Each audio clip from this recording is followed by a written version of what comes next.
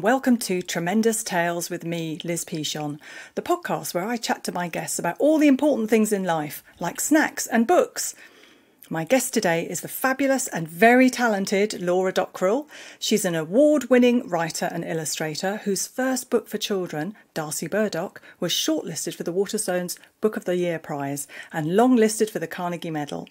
Her young adult novels, Lorelei and Big Bones, were also shortlisted for the YA Book Prize in 2018.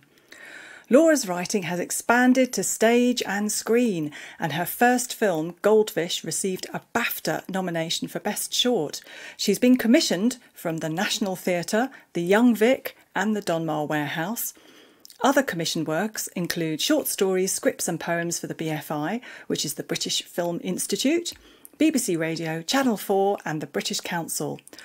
Laura's picture book, Angry Cookie, illustrated by Maria Karipidou, is currently in workshop at the Royal Festival Hall. Laura's first adult non fiction memoir, What Have I Done, is in development with Pulse Films, who have secured the TV rights with Laura on board to write the adaptation. I last saw Laura reading one of her short stories on a live radio recording with some very fancy guests watching on. And in that situation, I would have been an absolute bag of nerves, but Laura was incredible, and as was her story. So, welcome, Laura. Do you remember that evening?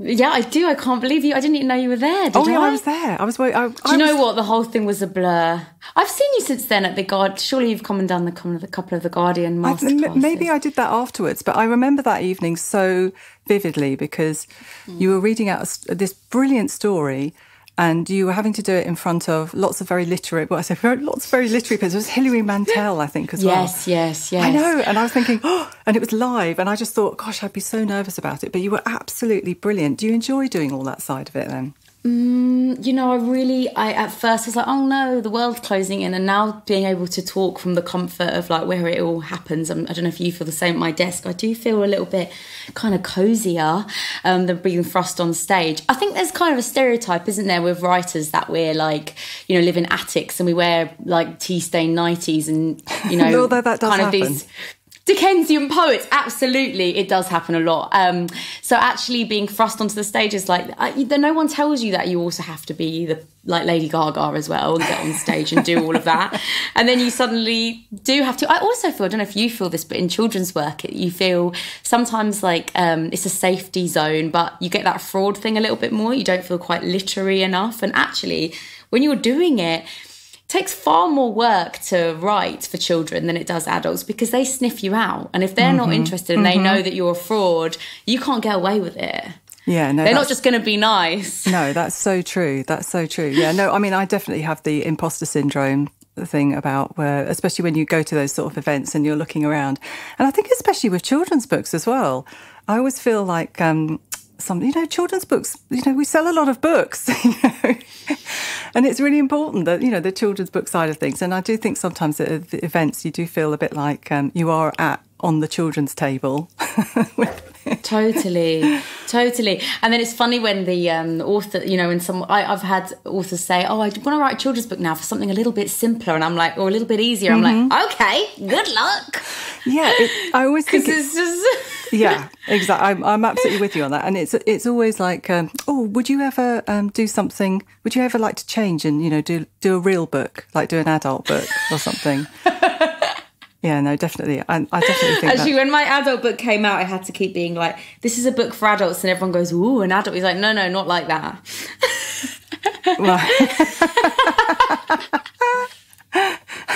so, did you ever imagine then, when you were a kid, did you ever imagine that this is what you'd be doing? That this is the kind of work that you'd be doing, that you'd be writing books and performing and, you know, writing scripts and things like that? Um, I think this was always my dream, but I think at um, school it seemed impossible. All the books that I'd ever read or the authors that I learnt about were either men or they were dead.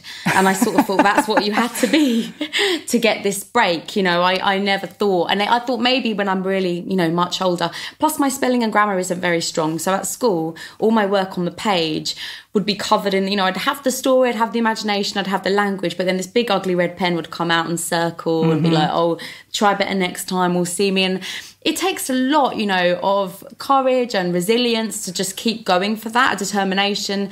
And then secondary school really exhausted me. I just mm. didn't feel smart. I didn't feel like I, I just felt in the middle all the time of every, everything. And uh, that really dampened my flair and my interest in creativity. So I actually found the performance stuff was a way a way in really in a kind right, of Mother Goose meets Lady Gaga, where I thought I would get found. You know, if I read the work out loud, I don't think I would have been published if I had just submitted on paper because all my flaws would have been at the surface. So. Um, yeah, in answer to your question, yes, you know, but I always wanted to be a kind of French and Saunders kind of bottom Mr. Bean meets it's not you know, too late, Laura. Books that I grew up with. No, it's not too late. I just need to get myself some red tights and just shove my school shirt into them, and then I can be Rik Mayall. Um, so uh, yeah, and my family, my dad taught me, you know, to love music. You know, lyrics are so important to mm. me, and um, he would always tell me the backstories of how songs came about. You know, from Marvin Gaye to John Cooper Clarke, and I, I that was such an important part of my learning. It wasn't just books; it was music, film, TV, yeah. comedy, food, everything, basically. Yeah. That's really interesting, isn't it? Because I think as well, I've just I just showed um, Laura the Gatefold Tom Gates album that Mark and I. I know it looks amazing, and the music's amazing for this show, guys. Well, we're just well, it's one of those memories that I have as a kid has being given. Like my, um, I've got older brothers and sisters, and you know, if I used to go and visit their, you know, they'd moved out and they had their own places. You know, they had a record collection um, and so we used to go over and visit, and after I get bored, after they'd stick me in the corner, and I'd be uh, allowed to choose an album, or they put an album on, and they always had much nicer stereo systems than my mum and dad that had something that looked like a Teasmade, you know, you know, the old cassette had had everything with it. So I have really strong memories of putting on these incredible headphones and listening to uh, Stevie Wonder like for the first time, and studying the gatefold and looking at the lyrics. And mm. I got given an mm. album, I got uh, played an album called The Point by Harry Nilsson, which had a little um, illustrated book in it as well. And, you know, just the whole thing, it was a story and it had lots of songs with it. And it just really, for me, you know, it's, it was all about another way of telling stories, wasn't it? It's like reading the lyrics, totally. you know, hearing the music, totally. looking at the artwork. You know, Absolutely. studying it. It's all part of the same thing, isn't it? That's oh, it really is. And when I, to, you're right. When I go to schools and kids go, "Oh, I don't like books," or you know, it's not for me, but they all like the, they all like songs and music. Yeah. That's just essentially a way of absorbing a story, you know, just in another format. So I always say there's actually a really good book. I really enjoyed it by Jay Z, um, called Decoded, where he annotates his lyrics. Can I just like say, I've just looked over. Mark's, Mark's writing that down. it's oh, really good. good. so he breaks down his um, his raps, you know, like songs and um, that kind of but we need more of that because the, this is just another format of storytelling and essentially it is just spoken word. It's just got music behind it. So everything is feeding into everything. We're all talking about the little books and the things that come inside. You know that's what i'm missing so much in this kind of Spotify world is I'm missing all the extra. It's that's physical, such an opportunity. That's, yeah, that's it really is. interesting because I always, I mean, I used to give music as a present a lot. You know, yeah. you give give somebody an album, and so I mean that's part of the reason that we did that. It was a, something special, you know, because you could look at it and take it out and. Um, and I, I must admit, though, that the sort of novelty of having to turn the album over after about oh God, you know, we've got to get up and watching our kids as well who are, who are, older. The first time we got a record player in the house, they were sort of hovering over with the needle and said, "Well, which end do we start at?" I don't know the answer to that. I was CD world, but CD, oh. you've got your favourite CD, and then it gets scratched, and then you're like, "Ow!" Yeah, you know. I remember watching it on. Um, I think it was a program called Tomorrow's World before when CDs first came out, and they were supposed to be indestructible. They had this whole thing about how you know they could roll over it in a in a car and stuff and nothing would happen to it and it's just a load of rubbish well also the funny thing is they scratch so easily they literally get a whisper of air on them and they scratch but if you're annoyed and it's like your ex-boyfriend cd and you try and snap it you're there like and it just won't snap when you need it to. Snack chat do you have any kind of like really strong um, memories about snacks in, when you were at school or school dinners? Well i spent most of my teens being a chubby grunger. Um, so just basically like loving grunge music. yeah, it does. Uh, my partner, who I'm with now, um, I actually fancied him and was his best friend since we were 14 years old. Oh. So he always thinks it's hilarious because I he said you would always come with like puddle water up to your knees, you know, drenched from my baggy jeans that I would always have on. Oh, that's the reason nobody ever kissed me.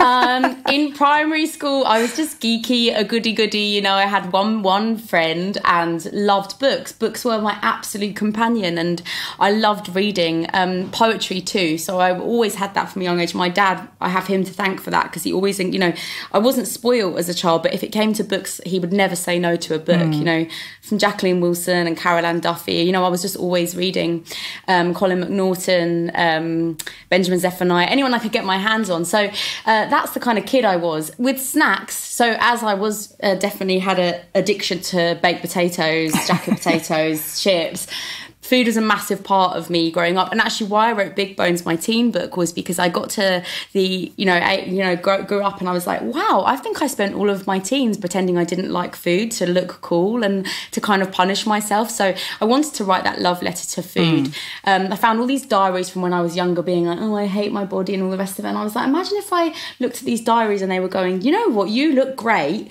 um, how refreshing that would have found uh, felt. So that's kind of why I, I, did Big Bones. So snacks are really important to me, and um, I really want to try and now having my own little child, you know, my own little boy, to make sure that food is really positive in the house and mm. encouraged, and cooking and eating is so because it's especially with the pandemic, it's been so important. Yeah, definitely. So Laura, would you like to tell us about um, your snack of choice, which I am genuinely very excited about? So I've chosen uh, as soon as I was, you know, your snack is always so glamorous. You love those caramel bars, don't you?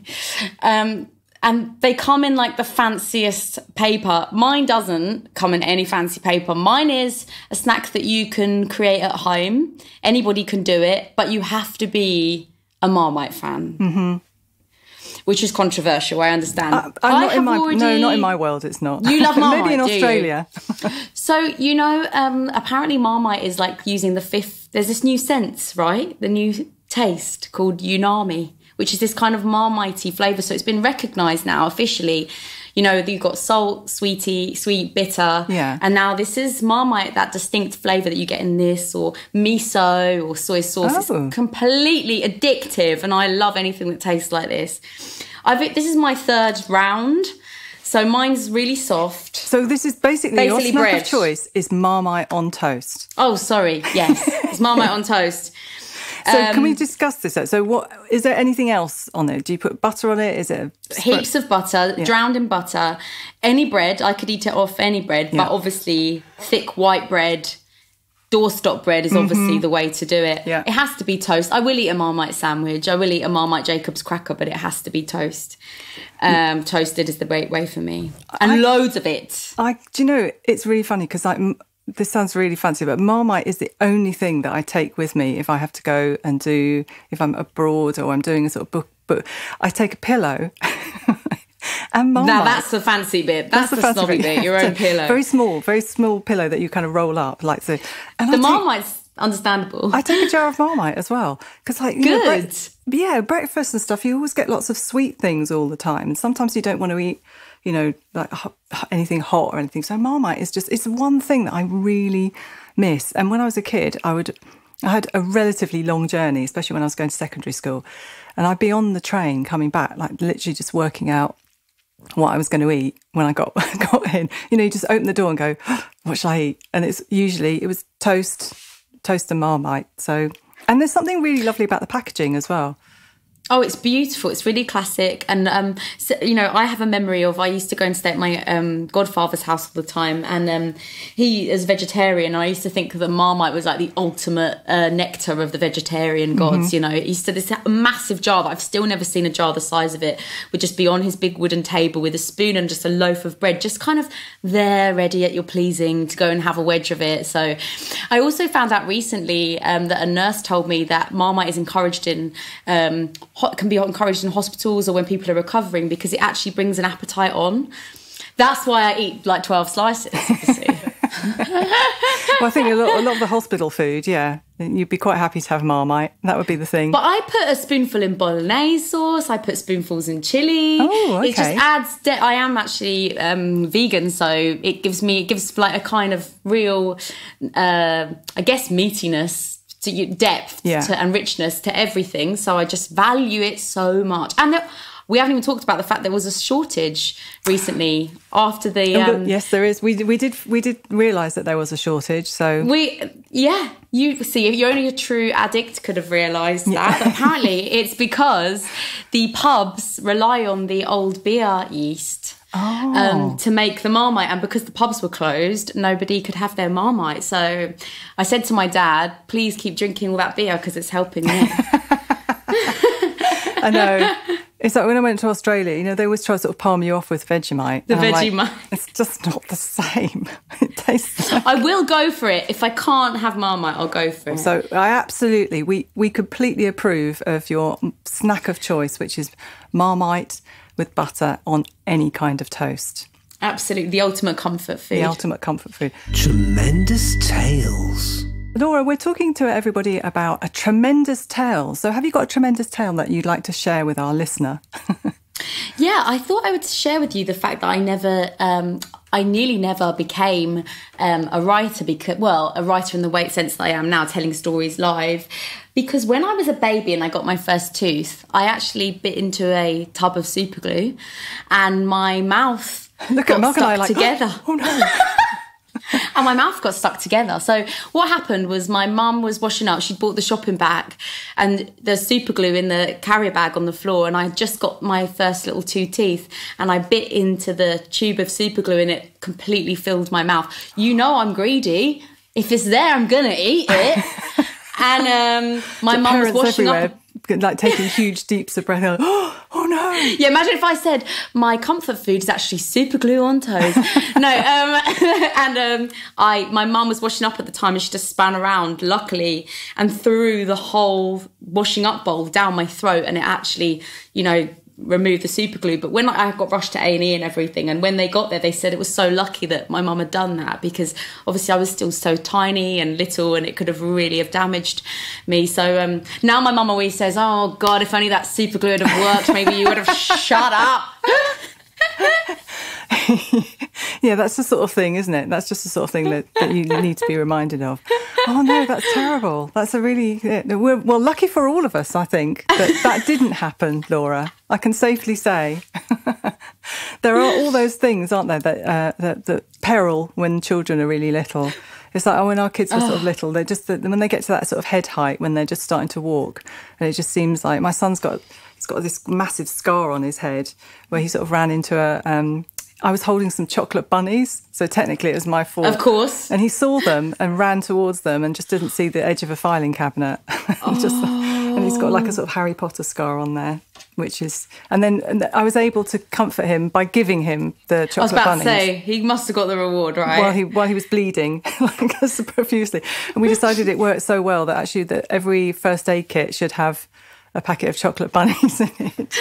I remember I broke my wrist once at school by playing a game and I tripped on the carpet, put my hand up and broke my wrist. And I didn't cry the whole time. Uh, That was the only time I've ever been to hospital and didn't cry at all. And then my dad, as, as a joke, I got my x ray and he said if I had my x ray, I wasn't allowed to have a Chinese takeaway. And then I cried. Oh, then the tears came. Oh gosh, and he was only joking and he was like, wow, the only time you cried, I was like, my true greed has now been completely. That's really Do you know, it's, that reminds me Revealed. Of my dad, when my dad had all kinds of issues. Um, he had all sorts of different sorts of illnesses and he was in and out of hospital a lot. And the one time I got, I saw him like genuinely upset was when he was told that he wasn't allowed to have any more um, uh, fruit drinks like, and sweets. He had a sweet tooth. I'm Yeah, he had a sorry, really don't take tooth. away our small pleasures. Yeah, we had to we had to take away. He wasn't any more allowed any more of his, you know, juices and all the sweets and everything. It's the one time out of all the things that he was in hospital for that I ever saw him got really upset about. Tremendous fail. So thanks for telling us that tremendous tale, Laura. Um, I think it's really important as well that the children realise that everybody makes mistakes, and I always say that sometimes people learn more from the things that go wrong. I know I certainly have. Sure. Um, so we're wondering if you've got a tremendous fail that you'd like to share share with us. I do, but I don't want. Um, well, you've just added that little bit in where saying, I, I- you know, this isn't a regret. Well, because we kind of know what, what, what ends, you know, if it's something happens at the end. So, like, It's a fail, but it's not a regret. Let's Okay. be clear. So picture the scene. I'm in year five at school, so this is I'm kind of ten years old. For up until this point, this is before my now husband came into my life, Hugo. I met him when I was 14. So before that, since I was four to 10, so six years, I was in love with this boy called Ricky, who was in my school. And uh, he had come from Romania, and I decided I was going to be living in Romania with him. I was ready to go. I was completely in love with him.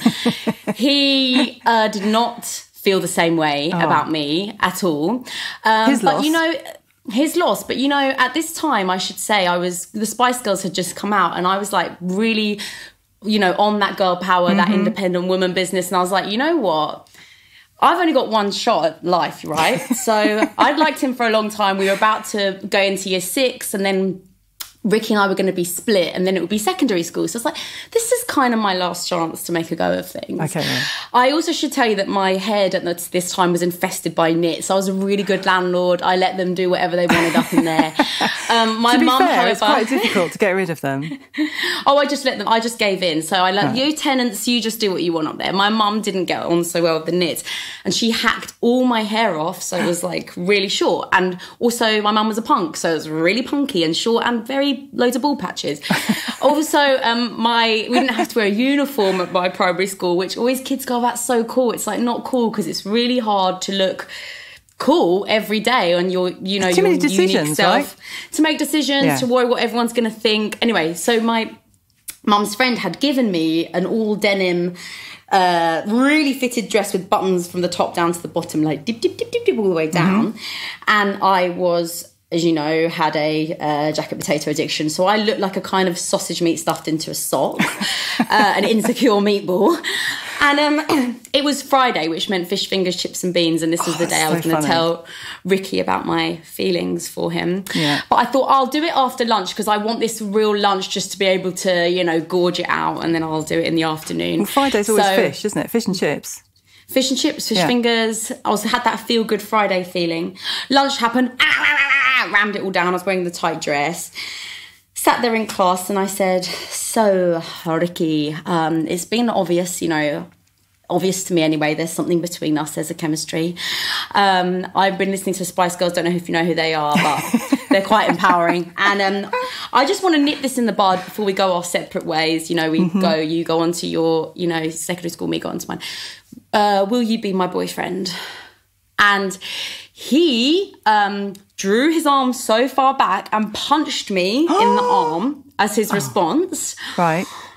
I also wasn't popular. I was like kind of just being my friend Siobhan. Um, the sick out of nowhere just rolled up into my throat and I absolutely projectile vomited on every single wall, the display, splodging down onto the ground. It just kept coming. It just wouldn't stop. Oh, then I was crying in the sick, going, is it a yes or is it a no? like this. My friend Siobhan, she's so loyal. She's still my friend to this day. We've oh, been friends for I need 30 to talk. years. I need to ask you about Ricky. Oh right, so yeah, so he was just there like scowling, like trying to look cool, and I was my friend was cleaning up the sick. Anyway, uh, that was that, and it was terrible. Oh, this he'd already uh, sprayed a can of deodorant in my air freshener, sorry, in my face once uh, when we went to go knock for him to ask him again if he wanted to be my boyfriend. Anyway, then eventually I got over it. It was fine.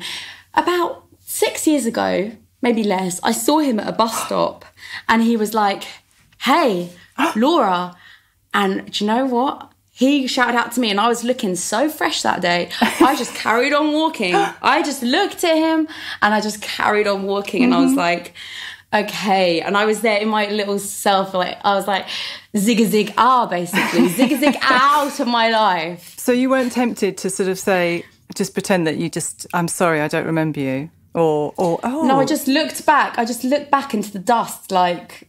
No, probably because if I'd spoken, it would have been. Like, is it yes or is it a no? I'm sorry, I was sick on you. Were you actually sick on him or just sick around? Everywhere. Oh, okay. everywhere. Oh, if it had been on It was him, literally- that might have been okay. in my memory, it was you know like in a cartoon where someone like peels the stick off their face and has to like splat it down like. Eh. and it was fish finger chips and bean stick. It was because also the dress was so tight. It was Yeah. so tight, you know. Yeah, I but shouldn't so, have worn that dress. But so you're calling it a tremendous fail, but actually, in the with with the end bit when you got you, know like Ricky Ricky missed out. tremendous really. badass girlfriend. Yeah, exactly. It sounds like that to me. like, That's what I was going to say anyway. I'm just Yeah, saying I- what everyone's I- thinking, Liz. I think that's that's a brilliant story and one to remember that actually, um, you know how the the feelings that you had about your friends and what happened to you when, when you were in primary school. So when children are sort of going through school life now, you know, and thinking, not thinking. Uh, Um, that the stories and the things that are happening to them now that you know you really use them don't you you use them for stories later on you can bring those back you bring back those memories they're so strong don't, aren't they Totally, they really are. And all those feelings, you know, that everything feels like thunder and lightning in your chest. You know, nothing is small. Like the smallest, you know, fancying somebody, liking someone, not knowing what to do with these feelings. It's so huge. And we we spoke to um, Eoin Colfer, and he was talking about. He said something that was very poignant when he was talking about when you're a kid, you know everything in your garden, like or wherever in your house, you know where everything is. You know, you know, you you know ab- all those small details that just are really important to you that you kind of forget sometimes when you're older because you're too busy. It's busy so true. faffing around. It's so true. oh well, that's a brilliant, tremendous fail, and it's not really a fail, but so we like we like that particularly. Well done. So we have this really groundbreaking segment of the podcast, which is called "What's That Sound?" So let's have a listen and tell us what you think it might be, Laura. Okay.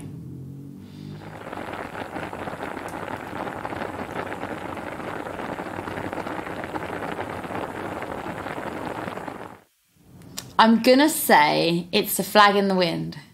Oh, that's an interesting one. Should we play it again? Let's have another.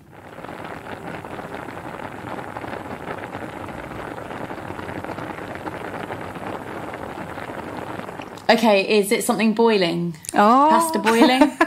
I love to see Laura. You can't see Laura, but she's had her eyes closed and she was really concentrating. That it is. It is actually. I think it's a, a bowl of. It's a some pasta because I knew that you were very Yeah. keen on cooking. We decided we're trying to make the sound effects. Like I think it's pasta boiling. It's boiling pasta. Yeah, it's very relaxing, Yes. actually, isn't it? Really relaxing.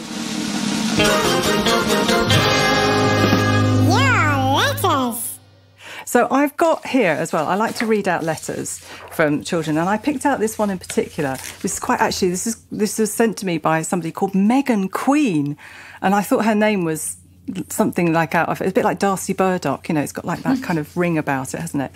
Um, and I just wanted to show you this. I will actually put a picture of this up on uh, my. The podcast with her, but she designed this. Look at this, and I know that That's you particularly like wearing very colourful outfits, and we like a bit of colour, don't we, Laura? Oh, Wow, it's like um, you, I mean, it's like something psychedelic that you'd want to wear on a velvet jumpsuit. Isn't it? I mean, literally, I could put that. I can, I'm literally putting that on me and thinking that could be Yeah. a shirt, a dress. Yeah, yeah, totally. So I'm going to tell. A wedding dress, something to wear to a funeral. Y- yes. Yeah. And I've got this other letter here from um, from Audrey. So Audrey says. Uh, I've always thought that my mum and dad were a little bit like Derek's mum and dad because they are they always interrupt me and my friends. Do you know anyone like that? So I thought I'd ask you, Laura, as well. Do you know anyone who interrupts you all the time? My, um, me, my mum, and my sister, when we talk, I don't know what we're saying. We're all just talking over each other at the speed of lightning, the speed of light, speed of lightning, whatever it is. It's just constant. So I take partake in that, and actually, sometimes I don't mind it because I do think when I see us in my head. I think of that as like a busy action kind of field table where there's loads of love going on and storytelling. And actually, sometimes when you are telling a story like nattering, it's kind of nattering. It's mm-hmm. like you're not really saying anything of true weight, you're just nattering. That is a feeling you're trying to get across, not the actual story in itself. Is your And sister younger or older? She's younger and we're Right. exactly the same. She's just everything cooler. Um but um i so i don't mind it in that way. And and actually i think it kind of shows that you're like you know it's like a tug of war which i don't really mind that a little bit with them. Unless you're trying to get something off your chest and then my mum's being she my mum has the art of being a devil's advocate so sitting on the fence. You know and you don't want to hear it and you want your mum to just be on your side and be like absolutely you are the queen of the world um so I think parents have always got. I mean, it's, they've always got a way of pushing your buttons. It doesn't matter um, how old you are, and I think with your siblings as well. It doesn't matter how old you are. There's always that same sort of pecking order, isn't it? Because I'm the youngest. Oh, there's always a hierarchy. Yeah. Definitely. Oh, sorry about that. Mark's the youngest as well. Oh, sorry about that. Oh, so this is like solidarity. That's why. Yeah, it's true. It doesn't matter what you do in your life. Like if you're the youngest, you always kind of get like treated the same way. Just a bit, you know, patting on the head. Like, well done. and also a bit spoiled though. Mm, pr- I think if you spoke to my brothers and sisters, they'd probably agree with that. Because there's a big age gap between me and my brothers and sisters as well. So, like, by the time I came along, my mum and dad were a bit more relaxed about things. This is it. I had to, to get my ears pierced to be able to get a bus on my own. I had ah. to wait till I was like 109, and they're just like doing it straight away. It's like my mum doesn't. I'm like, "Where's Hector?" She'd be like, oh, "I don't know," and I'm like, "Right, okay, this is different." Oh, because you've got a brother as well. I've got a sister and a And brother. I'm the sister. oldest. Right, Yeah, right, yeah. yeah. So you're paving the way, aren't you? Exactly. and what a way I paved. Do you write about them? Do you ever write about them in your books? Have you, you all do? the time. Oh, yeah, yeah, yeah. All the time. And do they know about that? That they Oh yes. Sometimes I don't even can't even bother to even change their name. No, it's interesting though, isn't it? Like the the stories that we're a lot of the stories. I mean, I do the same thing with my books. That you know, I'm I'm really drawing on those experiences, on those relationships and things that you have with your brothers and sisters, with your family life, because I know that's something that you you write you've, you've written You about as well. You have to. You have to. To be a, a good writer, I think it's not even just about, you know, it's not, yeah, it helps to put nice words in the right order, but really you're just drawing on your own memory. It, it, memory is the most important skill as having a writer because, you know, if you are writing, for example, about love or about being fear, we talked about, you know, bullying or isolation, loneliness, any of these experiences, you're trying to get convey something that is so importantly to you. You have to remember and evoke all those feelings. How can you do that without drawing upon your own experience? I also think the art of writing and reading is a, an agreement right? So you share a little bit for the reader to share a little bit. So it is in that space. That's where the trust is created. And even if you're writing from a, from the point of view of a zebra it still has to be true Very true. No, that's absolutely, Yeah. isn't it? Yeah, no, that I completely agree with that. Um, so that brings us on, Laura, to your tremendous book recommendation. So, what book would you like to recommend? Um, I've actually, you might have already read this. I'm sorry if you have, but I loved Julian is a mermaid, and so I've recommended the second, uh, which is Julian at the wedding Oh, seen by that. Jessica Love. Oh, it's amazing. Um, so it's beautiful, um, sophisticated, um, amazing illustrations um, with hardly any words, and some don't have words at all. I mean, they're just simply. I mean, you can see Wow. how amazing that is with just you know no words needed and for me i'm overuse words so much you know so just to see this kind of transformation of julian becoming ready for the wedding um it's just gorgeous So, Laura's holding Um, up the book, and I'll, I'll do, we'll put a link to that book up. And it's just celebratory and just an amazing book and we love it at home so i wanted to recommend that What kind of books did you read when you were younger, then, Laura? i was a massive well i still am a massive jacqueline wilson fan It's like this. Um, I'm doing and- like. You've probably met Jacqueline, haven't you? I've shared a packet of biscuits Oh with the chick, to be honest with you. Oh, Um, she's amazing. She's as amazing in real life and as commanding and wise and funny and everything that she is in her books. Her rings are ridiculous. I was just about to mention her rings. Yeah. I remember her, her saying, "Oh, you know, she was kind of fiddling with something. She went, Sorry, I'm just trying to sort something out at home. One of my baths is broken. One of my baths." and I was like, "Okay, okay, okay." Um, but she's oh my god, incredible. So uh, I, I still am a massive Jacqueline Wilson fan. I was took something really you know, challenging to read on a holiday once. And I don't know why I did it to myself. And I just was like, what am I going to do? This is my only book. And in the hotel, they had like a selection of books you could read. And Lola Rose was there by Jacqueline Wilson, which I hadn't read. And I just could have cried. I was like, oh, thank you. So I could read this.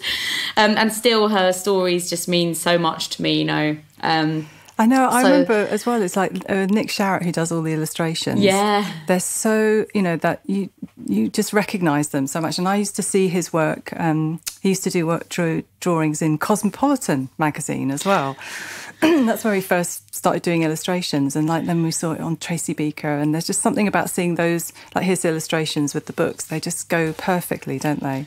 They really do, and it's not trying to be anything pretentious or like uh, you know. It's just is what it is, and it's just beautiful. And uh, the illustrated mum, for example, you know what I love so much about Jackie's work is she is unapologetically unafraid to talk about all the big heavy stuff, which really Hmm. does make the world go round. Which if we ignore that stuff and pretend it doesn't happen, we're only hurting ourselves and damaging ourselves more. And Jackie does it with such a lightness of touch, but such honesty and facing of all the unknown right in the eye.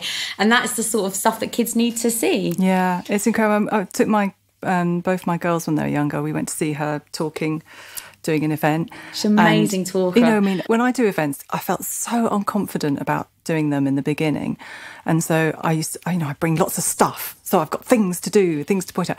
And she was incredible. There was just this room full, you know, I don't know, over a thousand children, and it was just her sitting on the stage, just talking and telling her stories, and they were all absolutely rapt and listening to every Yeah. single word.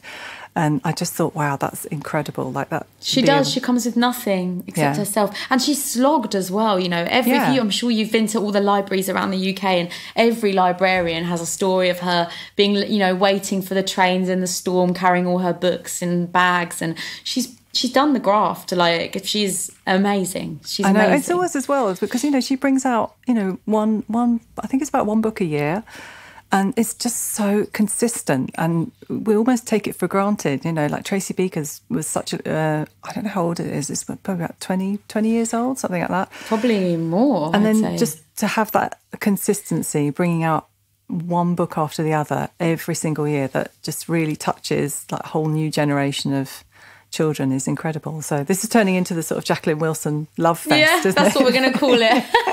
it's like, oh, no, I used to feel like that about um, uh, like uh, Quentin Blake's drawings as well. Just and getting Incredible. the op- did you? Oh, I mean, you I- have the opportunity was- to meet them. It's so amazing, isn't it? We get the opportunity to meet some of the our favourite authors, and I'm still like, you know, I just got to show some because I'm doing a Guardian masterclass at the moment of Yeah. uh, children's writing, and I just got to show them people that had never seen Sad Book for the first time. and if you've never picked up Sad Book, it just breaks every rule of what a children's book is. I'm saying with bunny ears, like meant to look like. You know, it's grey, it's muddy, it's bleak, it's just. Uh, it's devastating, and again, what we were just saying with Jackie's work, you know, it's going. This is the you can't have light without shade, and let's lean into the shade and try and understand it rather than pretend it doesn't exist. Yeah, Remarkable book, and my, I love Michael Rosen too. oh, this is true. We're just we're just sort of fangirling like all these. We are sorry.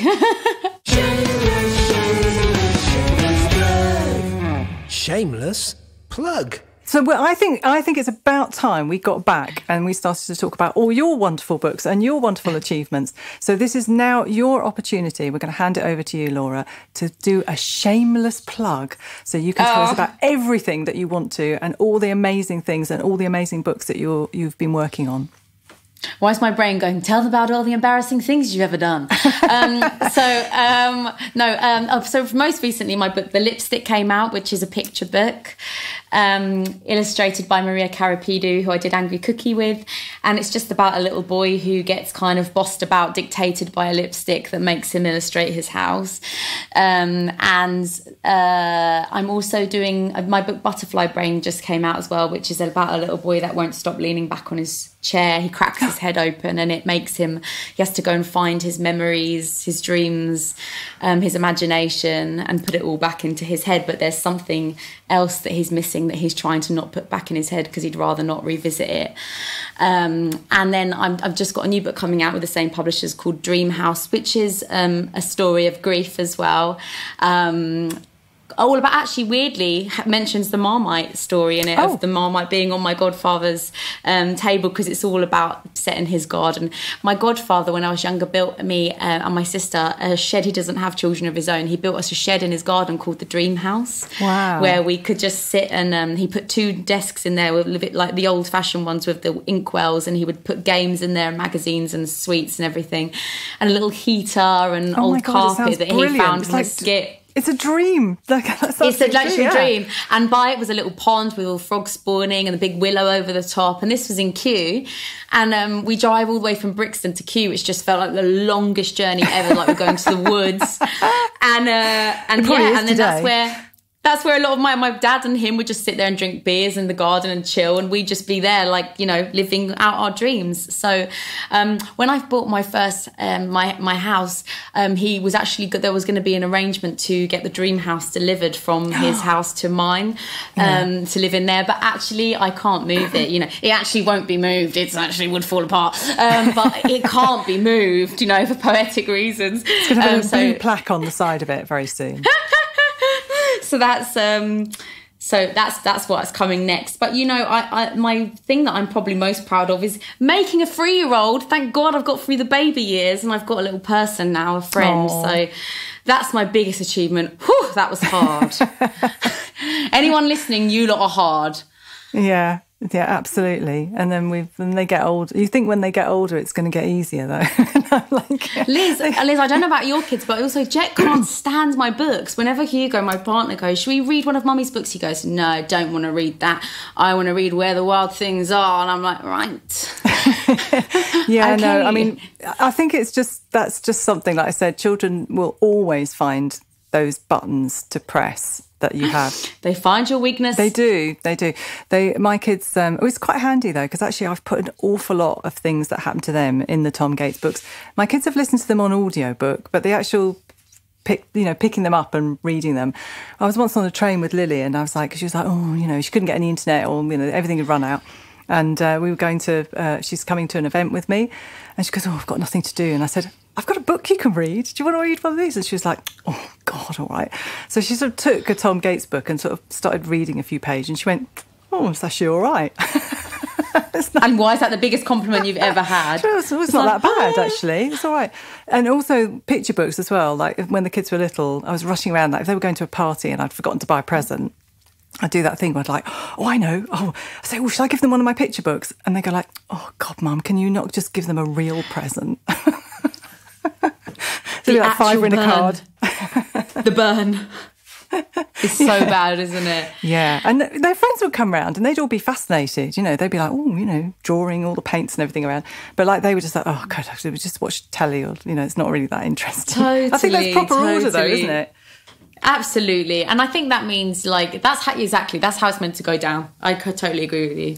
And the thing is, they'll, you know, they'll be looking at what you and your partner do now and everything around them. They'll be soaking it all up. And even if you don't think that they're taking it all in, they are. And they'll have their own kind of stories and things that they'll be remembering about, you know, what's been going on. So, and even if they say that they're not interested, they will be. They will be. That's what I tell myself, Liz. it's true. as I'm crying, as I fall asleep. Laura, I'm very aware we've taken up an absolute ton of your time being so even looked at late. time. Right. So Okay. I'm going to say that. Let's go. So, Laura, you've been absolutely fantastic and a delight to Oh. chat to. And we'd Oh, love so to give you. you also, I'm looking around for it personally. So, we're, we're going to send to you a little um, podcast package, which will include a red Tom Gates badge for all your creativity. Laura, thank you so much for sharing all your tremendous tales, fails, books, stories, advice, and snacks with us. And you can find a link to all the books that Laura's been recommending, including her own, on my website. And if you want to get in touch and tell me your tremendous tale, fail, or share a tremendous doodle, then go to lizpichon.com. So once again, thanks to lovely Laura, and thank you for listening. Thank you so much.